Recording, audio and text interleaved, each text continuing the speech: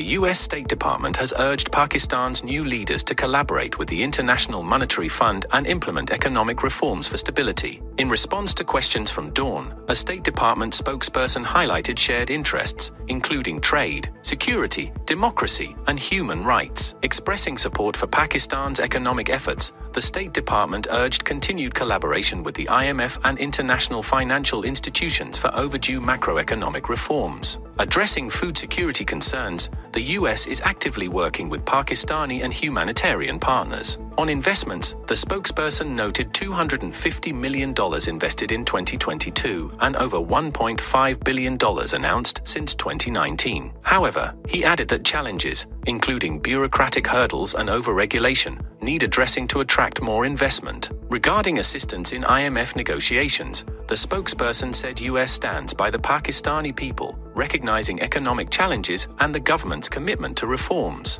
Treating current investors well is stressed as the best way to attract new investment. This conversation with Dawn showcased a nuanced and cooperative approach to addressing economic challenges, investor concerns, and regional diplomatic issues in the US Pakistan relationship.